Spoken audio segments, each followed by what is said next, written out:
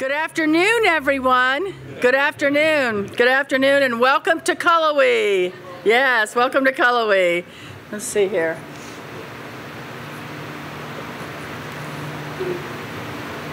Iconic. There we go. I'm so glad to have you all here with us this afternoon. It is my honor and privilege to welcome you all here to celebrate the official opening of WCU's Energy Production Facility, also known as the new steam plant.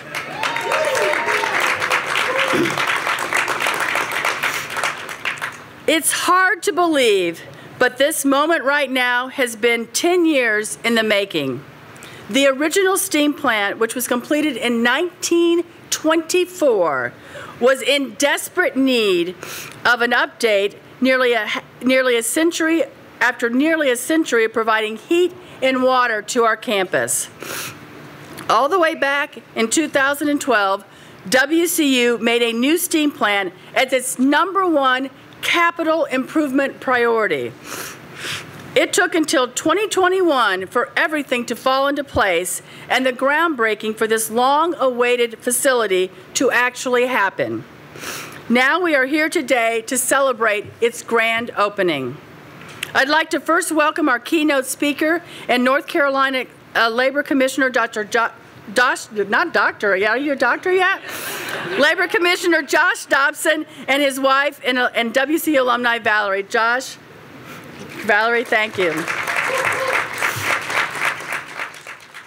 Also, uh, Vice Chancellor Mike Byers will introduce Commissioner Dobson shortly. I'm also incredibly grateful for the support of our WCU Board of Trustees. Would any current or former WCU trustee please stand and be recognized?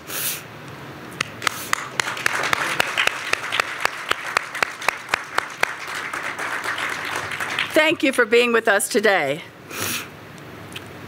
I'd also like to give a very special, warm welcome to former First Lady Susan Belcher.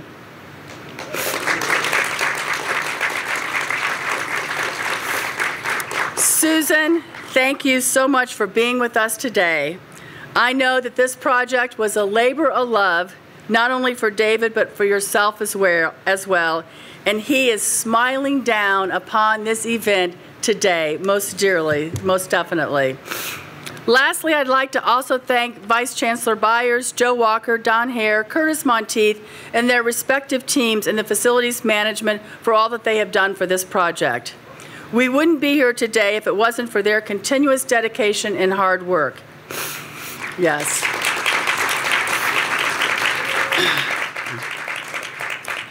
As you can see here, or maybe even since, I'm dealing with a little bit of laryngitis, and I'm leaving tomorrow for a commencement in Jamaica for our College of Education and Allied Professions. So I want to kind of keep my voice for that event as well as for this event. So what I'm going to do now is to help save my voice, I'm going to ask uh, WCU Provost Richard Starnes to come to the podium and recognize some special people who have joined us today for this occasion. Thank you very much.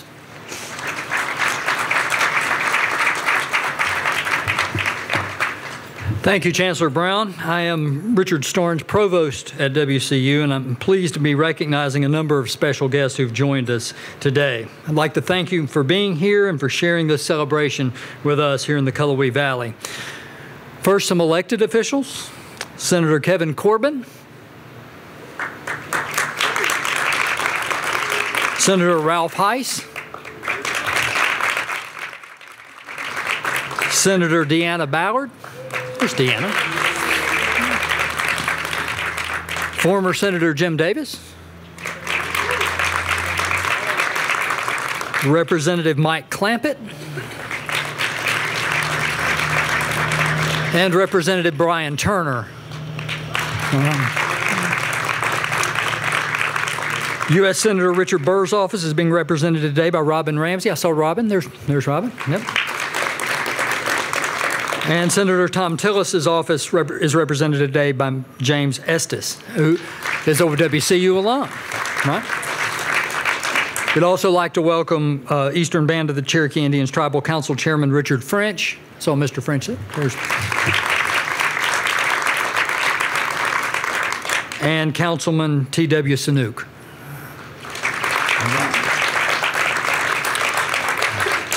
There are so many others who helped get this project over the finish line. Mike Byers, who you will hear uh, from later, will outline some thank yous for the folks on his team who that were instrumental in getting this amazing facility finished. I'm also delighted to share with you that this is not just any old construction project. WCU alumni and students actually helped build the steam plant that you see today. I'd like to take a moment to briefly highlight the WCU construction management alumni that were on the building teams and helped make this a reality. Tim Liberto, sorry, Liberatore, I got, think I got that right. Brett Towery and Sydney Pelagan. Thank you for being part of the team that made this into a reality. Isn't it great to show that our own alumni took part in building this important piece of university infrastructure? Absolutely. I'd also like to showcase the tremendous work of our facilities and maintenance staff who've worked continuously to make sure we had heat and hot water across campus. Without their, their hard work, we wouldn't be able to do what we do. For decades, these dedicated individuals, professional technicians, led most recently by Mr. Terry Ralph, babied, cajoled, coaxed, and even applied percussive therapy when needed to a nearly 100 year old steam plant functioning well past its intended lifespan. They did this day in and day out, 24 7, 365 days a year. Then, they turned their attention to ensuring that this new steam plant would meet the needs of the campus for another century. What a legacy they leave. They hate it when we do this, as they are far more comfortable amongst the machinery of their boilers and steam tunnels. But would you all join me in thanking these folks?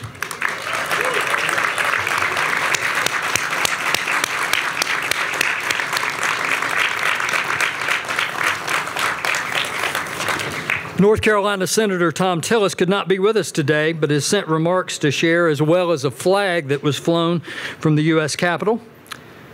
The letter reads Dear friends, I'm pleased to extend my best wishes to everyone gathered at the ribbon cutting ceremony for the Western Carolina University steam plant. While the Senate schedule prevents me from attending today's event, I would like to recognize the impact this facility will have on current and future generations of catamounts. This new steam plant will allow Western Carolina University to continue growing, and it will serve your community for many years to come. I appreciate everyone who has contributed to this project, and I wish you all the best for a wonderful event. Go Cats, Senator Thom Tillis.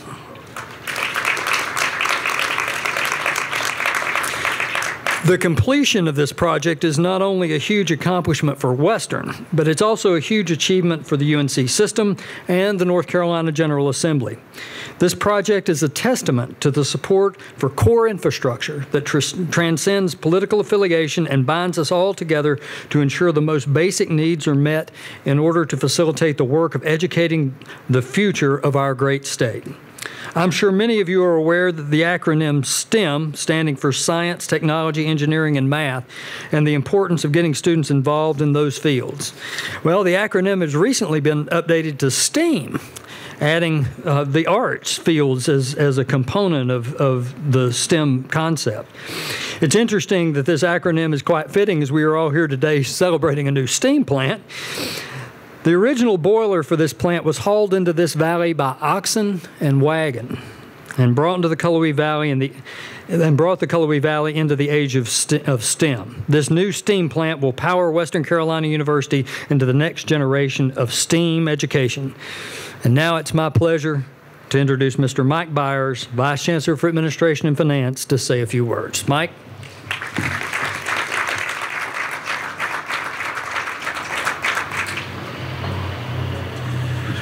Thank you, Provost Starnes, and good afternoon, everyone. I appreciate y'all being here today. We all do. It's my privilege to celebrate this new steam plant by expressing gratitude, by saying thank you to all the folks who participated in this project. We're very proud of this new steam plant and have many people to thank. I want to begin by saying thank you to the taxpayers of North Carolina and the legislators who represent them. The funding for this vital facility today is vital for this campus. We got 100 years of service out of the old one, and we plan to do our part in taking care of this new plant and hope that it will it too will serve our campus with heat and hot water for another 100 years. I'd also like to express my appreciation to Chancellor Kelli Brown and the Chancellor's Executive Council, as well as Chair Bob Roberts and the WCU Board of Trustees for all their support on this project. Truly, it took a small army of team members from WCU and our external partners to make the new steam plant the reality you see today. We are all truly grateful for your hard work. I'd like to take time to thank a few of those people by name. Among our external partners, I'd like to thank the construction team from Christman Building and the design team, the design team from Burns and, Mc and McDonnell. From Christman Building, thank you to Nick Whittemore, Dolores King, Chris Brummel, Wes Altman, Jordan Starkey, Phil Tilley, Joe Campbell, John Merrill, and Jeff Lumpkins. From Burns and McDonnell, thank you to Tom Parker, Mike Whitehead, and Jim Thompson. And thank you to all the rest of the Christman Building and Burns McDonnell family that helped make this successful project. Please join me in thanking these external partners.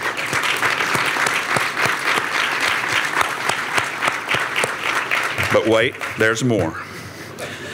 On the WCU side of things, thank you to all the people in facilities management. Chancellor Brown and Provost Starnes mentioned Joe Walker, Curtis Monteith, and Don Hare. I also, also offer them my personal thanks. A very special thank you to Terry Ryoff and our steam uh, who is our steam plant supervisor and his incredible staff of operators and technicians and to the dozens of other facilities management staff members who have supported this project. Maybe more than dozens, the entire team. Thank you for all that you've done. Please join me in thanking the WCU facilities team.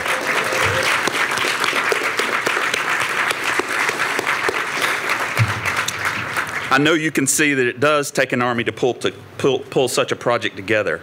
We're extremely fortunate to have such a talented group of people here in Cullowhee and joining us from the region and the state to help make this project successful. After the program, I hope you'll have a chance to find some of these folks and congratulate them personally. Now, it's my pleasure today to welcome a leader who's no stranger to Western North Carolina and no stranger to, to the WCU Steam Plant project. Josh Dobson, our state's elected Commissioner of Labor, previously served eight terms in the State House of Representatives and is a former McDowell County Commissioner. Through collaborative training and education initiatives, Commissioner Dobson's office leads in its statutory charge to promote the health, safety, and general well-being of more than 4 million workers across our state. During his time in the NC General Assembly, Commissioner Dobson served as chair of the House Appropriations Committee and chair of the House Health Committee. As a, as a legislative leader, he heard from WCU leadership the need for this steam plant modernization, and he heard our fears of what it would mean if it didn't get funded. He stuck with WCU as we returned year after year to request the appropriations needed to get the project moving forward. Today, we appreciate that partnership so very much as we cut the ribbon for this modern facility. Folks across North Carolina may refer to Commissioner Dobson as the elevator guy, but today in Cullowhee, he's a Boilermaker. Please welcome North Carolina Commissioner of Labor, Josh Dobson.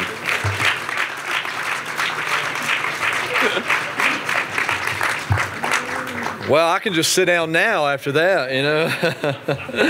uh, what, what an honor it is to be here. Chancellor Brown, thank you for your hospitality. My wife Valerie and daughter Kennedy and I came out a couple weeks ago for a football game and we just had a great time and the hospitality your folks are just wonderful so thank you thank you for having us back you know the the ironic thing is is we, we do inspect 25,000 elevators across our state, and everybody knows about that, right?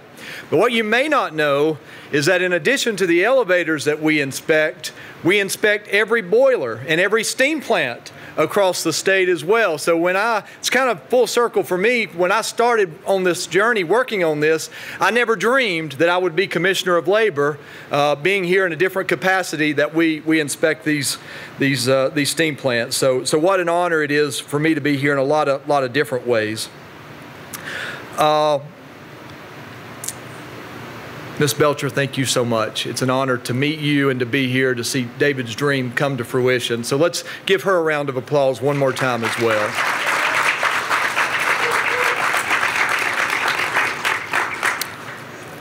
Uh, it's kind of special for me as the husband of a WCU graduate and the dad of a future WCU student. It's even more special for me to be here. Uh, this, I heard a president say one time, keep it short, keep it conversational, and keep it direct. So I'm going to just take a few of your minutes of your time here just for a minute. I think you know, people see the division in our country, they see the division in our state and in our politics. I think most people are hungry for something good and a kind of politics that brings people together around common good, particularly for Western North Carolina. And to me, that's what's so special about this, that that's what this represents and what we were able to do across party lines together to say, okay, we can set those other things aside. This we got to do together. And uh, I couldn't be proud prouder to be a part of it. As I was preparing my remarks for today, it became more personal and honestly more, drama- more dramatic than I typically like for my remarks to be. But this project really is so special to me, and I ask for your indulgence as I try to briefly share what being here means to me.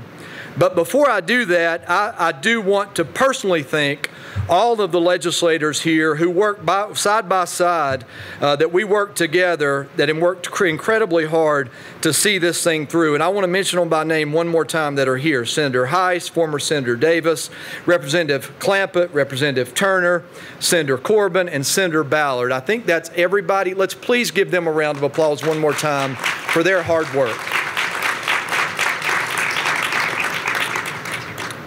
Back when this came up, I was chair of Health and Human Services Appropriations, and for the most part, I'll be honest with you, with you I tried to stay in my lane working on healthcare issues almost exclusively.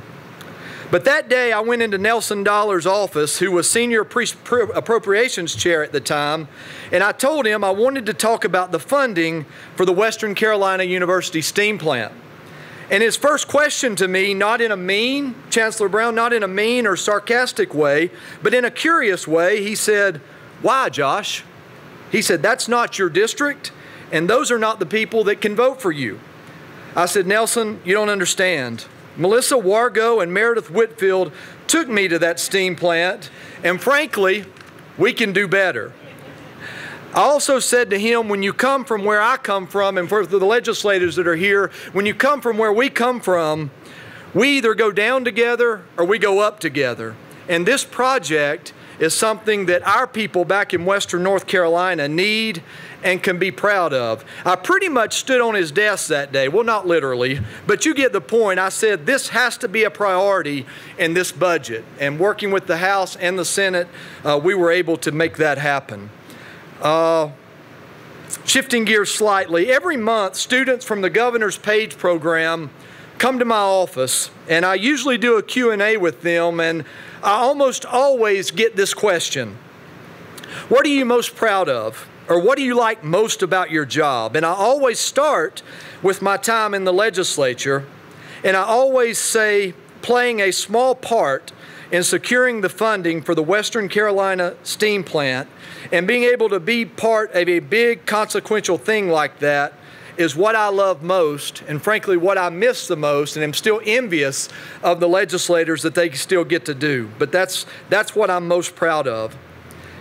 In conclusion, also on a personal note, and I, I apologize again for being a bit dramatic, but those of us who have been doing this for a while understand the fleeting nature of politics and perhaps know that our time in the arena is limited. We understand that most of the votes we cast will be forgotten. We understand that most of the speeches we give in time will not be remembered. But being able to be part of something like this won't be forgotten anytime soon. And it's something that we can look back on 20 or 30 years from now, if God allows us to live, and say that is something that we all here today had a hand in. Finally, after 12 years in public office, if someone asked me, was it worth it? After everything you have to go through to get elected and to stay elected, uh, the negativity, the political partisanship, the nastiness of it all, would you do it all over again? Chancellor Brown, I would say yes. And if someone asked me why, I would say to be able to play a small part again in something like this and being able to affect in a positive way young people for many more years to come. I'm so proud, I'm so proud of what we all did here together, and I look forward to coming back to visit, hopefully sooner rather than later. And it is my honor to be here and to be part of this. Thank you so much.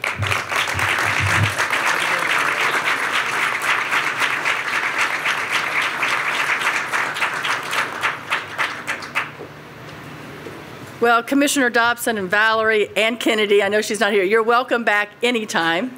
And and you are, um, I just I, I can't thank you enough. The senators and the representatives that are here, that helped make this happen. It was it was it was a long haul, but this really does make a difference. And I appreciate you. Um, you know, even those of you that were not in your in your district fighting for this steam plant. And so I can't thank you all enough so very very much. So thank you all again. Um, thanks everyone for uh, being here today and joining us for this beautiful afternoon. We couldn't have picked a better day to be having, eh, having this grand opening. I know that you are all excited as I am to see the impact of this new steam plant and what it will, the impact it will have on our students and our campus community.